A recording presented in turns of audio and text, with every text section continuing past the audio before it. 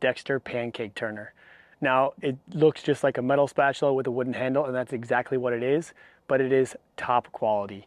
We've been using this spatula for years, almost close to a decade now, and it is by far one of our favorite kitchen utensils.